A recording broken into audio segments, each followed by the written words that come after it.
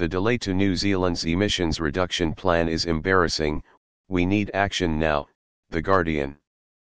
At United Nations, BTS premieres permission to dance video filmed at UN, CNET.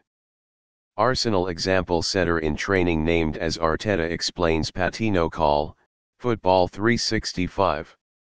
Why Timo Werner did not take a penalty against Aston Villa, 101 great goals. Russia threatens Asian NATO in fury to West over AUKUS nuclear submarine deal, Daily Express. Chelsea vs Aston Villa highlights as Reece James seals Carabao Cup progress via penalty shootout, Football.London. Have we learned anything? Indonesia reports COVID-19 clusters from over 1,000 schools, Coconuts Jakarta.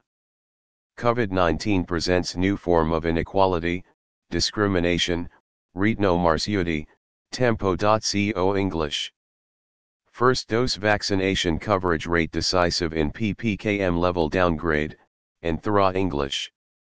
And UN rights expert urges Indonesia to provide jailed activist with urgent medical care, jurist. The links to these headlines are in the description below. See you again tomorrow.